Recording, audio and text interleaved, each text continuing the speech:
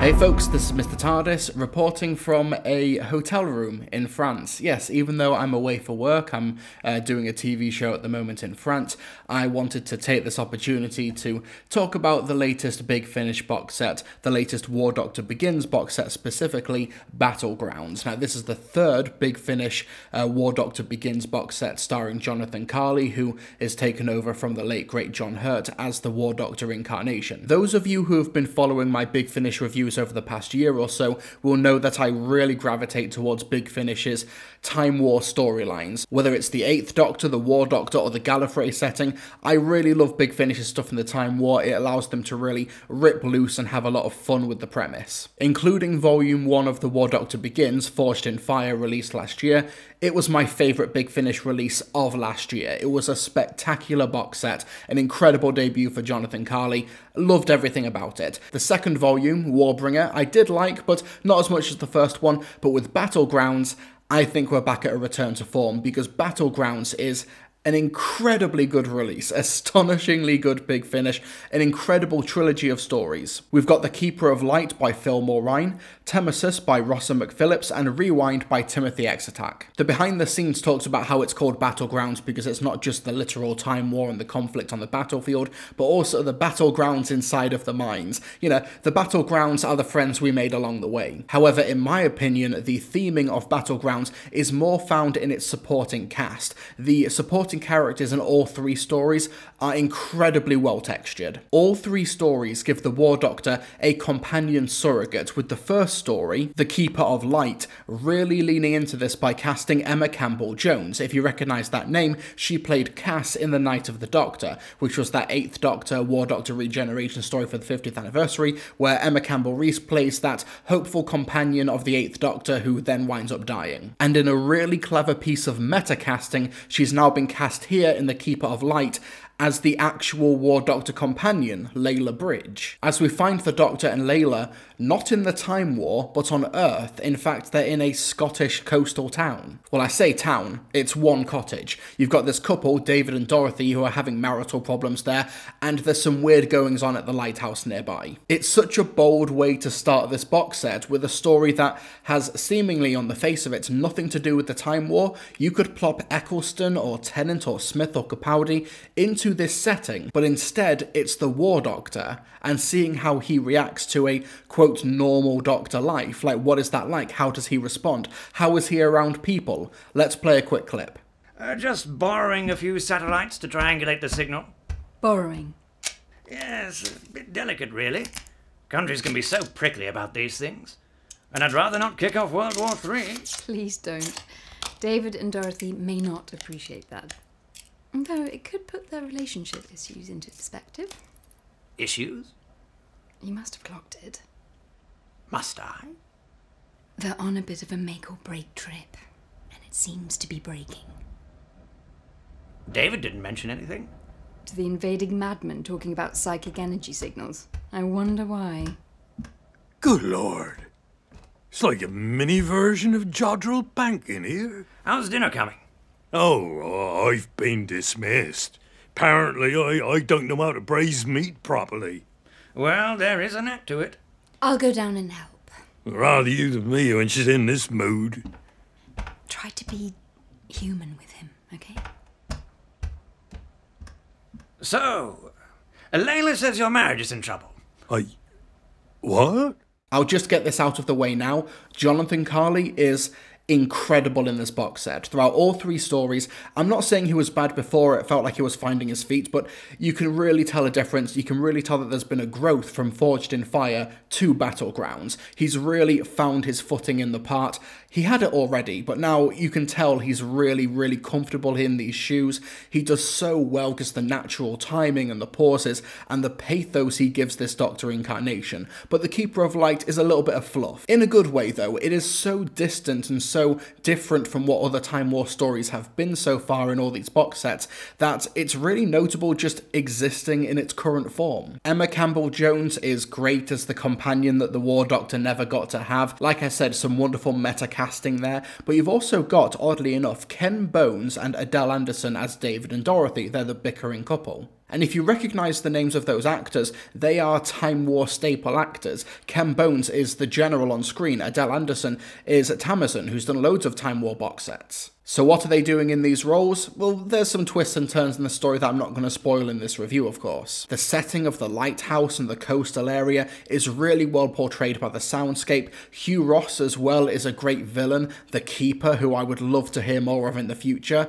Whether or not we do, that's kind of the whole point of the story. Like I said, I'm not really going to spoil anything here. The Keeper of Light is really good, but to be honest, even if it was a bit middling in terms of its story and its characters, just the setting and putting the War Doctor in a conventional Doctor story was really fascinating, and I loved the last five minutes. But let's move on to the second story, Temmosus by Rossa McPhillips. So Temmosus is the name of a ship that the War Doctor gifts the Thals in order to help give them equal footing to the Daleks in the Time War. And all of a sudden, everyone watching this video thought, oh yeah, the Thals, what were they doing during the Time War?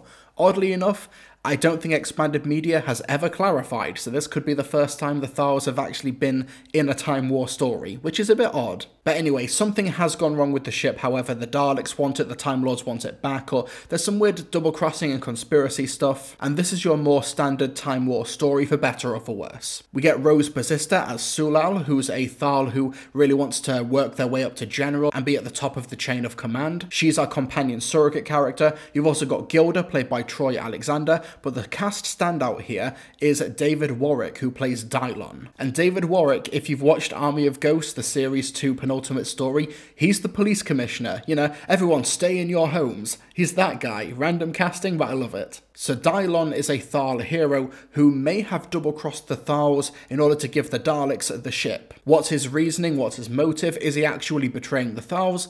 It's the twist of the story, I'm not going to spoil it. But the journeys leading up to the conclusion of Temmosus were really interesting, and this is what I was on about earlier about all of the characters being so textured. All of the characters at the beginning of the story go through a journey which fundamentally changes their outlooks by the end of the story. Dylon, Sulal, Gilda, they all go through these really interesting mini arcs. And in a story that's just under an hour long and is just audio, like you have no visual frame of reference here, it's really difficult to do, but it works really well. Will the captain be arrested? I admire your loyalty, Gilda. I really do. Dylon's been good to me. Didn't you used to be friends? Once, before he contacted the Daleks. Will you promise me he'll be treated leniently?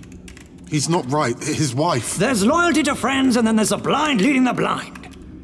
You can tell me all you want about Dylon's reasons, but he nearly got everyone killed. He may still do. I know.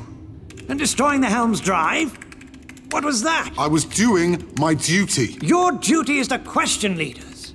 Make them accountable. Make them justify their reasons. Otherwise, people die. Needlessly. I also really appreciated the world building from both the Daleks and also the Thals. You know, what have the Thals been doing in the Time War? How do the Gallifreyans treat them? And also, how do Daleks torture other Daleks? And I really liked the Dalek interactions. There's only a couple of scenes there, but the Dalek time strategist makes an appearance, and I love Nicholas Briggs in that role. He's so good as the Dalek time strategist. While Temmosus is a really good story, it does suffer a little bit from being the middle chapter. It is the normal Time War story that's sandwiched between two really distinct and interesting non like counter Time War stories. You got the Keeper of Light, of course, but also the last in the trilogy, Rewind by Timothy X Atack. Now, Rewind is a story that has the War Doctor in it, but it's not about the War Doctor. It's about Ignis, played by Sarah Moss. And Rewind is set on Lasuna, a planet that is caught in a perpetual Groundhog Day loop because of some Time War shenanigans. A new breed of Dalek, the Berserker Daleks, are devouring the planet. They're described as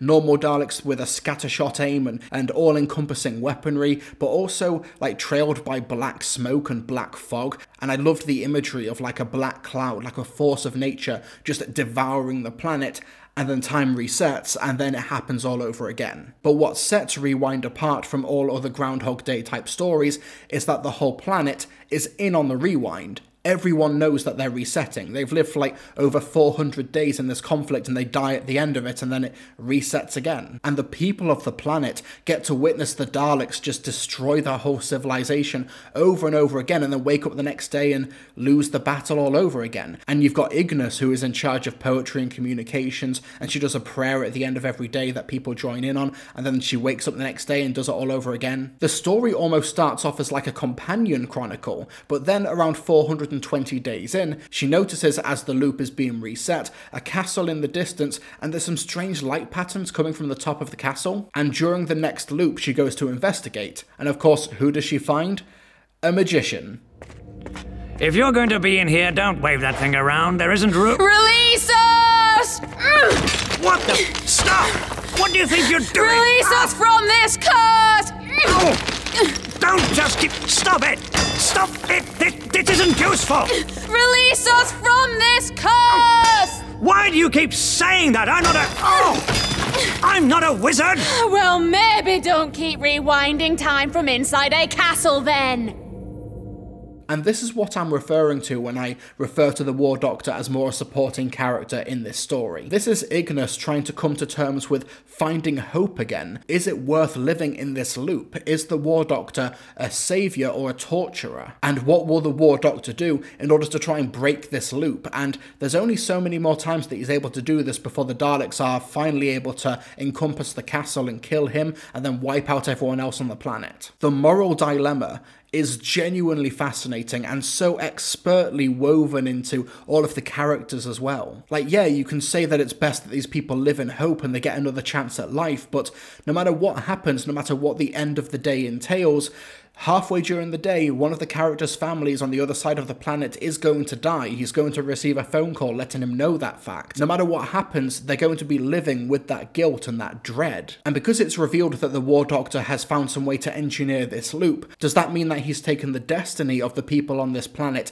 out of their hands? Is it his decision to make? Rewind takes the Groundhog Day formula and just builds layer upon layer of nuance and some really interesting thematic weight. Ignis is a wonderful character. Sarah Moss's performance is a revelation. I was amazed to discover that she's not been in Doctor Who or done work for Big Finish before, as far as I'm aware. She's superb. She's amazing. She is like companion material. She's an absolute find, and I really hope that Big Finish find more projects of her in the near future. I wish her all of the best. She's so great in this story. The Daleks are really scary, even if their appearance is a bit minimal. They are more like an omnipresent cloud looming over the situation, as opposed to like a bang bang plunger in the face antagonist. My one nitpick for this story is that there is a general character who's a bit like cliche for this role. You know, shoot first, ask questions later. Oh, we have to kill and shoot the Doctor. Why? Because I said so. There's some great scenes with them, but I also loved how he gives this great monologue about what he and his soldiers do whenever the loop resets, and then the War Doctor just instantly shoots him down in one line, like a couple of scenes later. That was some really great setup and then payoff. The really experimental, timey-wimey elements and some of the really profound visuals that we get. This is absolutely the same writer who gave us Planet of the End in the Ninth Doctor Adventures Respond to All Calls. That was like a really experimental out there story. Same writer, you can tell.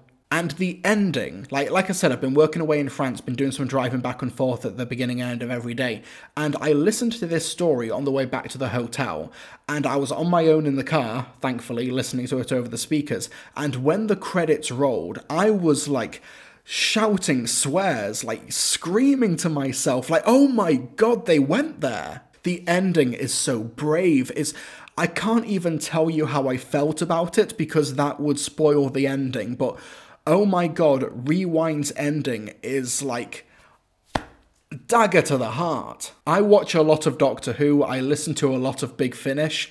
I don't think an ending has hit me quite as hard as Rewind has in a long time. Superb. Listening to the behind the scenes, it would appear that I've interpreted that ending a little bit differently from everybody else, but Either way, the interpretations are valid, but my gut reaction to that ending was uh, full of swears. I can't, I can't repeat it. Rewind has instantly jumped up into my top three War Doctor stories. You've got The Shadow Vortex by uh, David Llewellyn, you've got Lionheart by Lou Morgan, and now you've got Rewind by Timothy X. Atack. An incredible set of War Doctor stories, but this box set itself was really, really good. Like, there's not a bad story here, but Keeper of Light and Rewind those are special. And saying that makes me feel bad for Temmosus, because Temmosus is also really, really good. It is just more War Doctor Time War stuff, which is fine. I promise it's not as mean as it sounds, but Battlegrounds is superb. An incredible Big Finish box set. Probably one of my favourites of the year so far, along with the Ninth Doctor Back to Earth. Like, those two just almost back to back from Big Finish they're on a roll. They're on one hell of a streak. The next big finish box that I've got to listen to is the Waterworld's Sixth Doctor one. That's going to be next, probably next week. Really looking forward to that one. But yeah, so the War Doctor Begins Battlegrounds is is a must listen. It's an incredible like box set. I think you should check it out regardless of whether or not you've listened to any War Doctor in the past. Forged in Fire is still terrific, and I recommend picking that one up as well. But Forged in Fire, Battlegrounds, you've got two, like, near 10 out of 10 box sets to listen to from the War Doctor Begins set with Jonathon Carley doing an incredible job going from strength to strength. I can't wait for Volume 4 coming out in a couple of months' time. That's it for my review of the War Doctor Begins Battlegrounds. I shall see you folks next time. Au revoir.